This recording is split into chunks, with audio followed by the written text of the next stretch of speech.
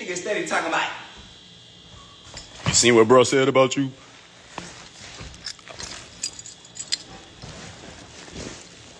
Y'all niggas like instigating some shit and egging some shit on. Then when I get to popping shit, then it's an emergency evacuation. Then it stop, Soulja. Man, hey.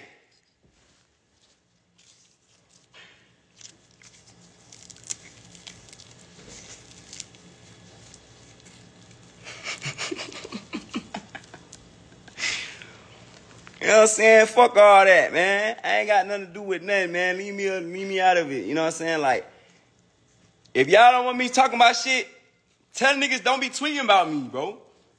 You see what I'm saying? And tell a nigga if they tweeted about me, go and delete it.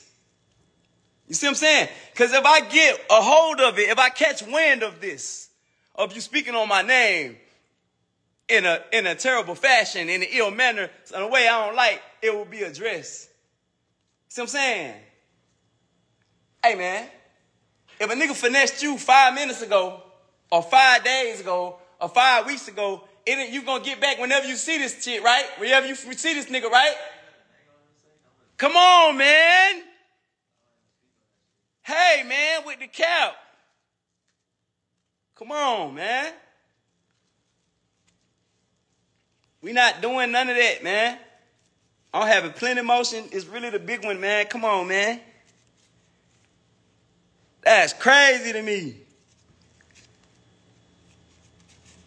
That's crazy to me. Come on, man.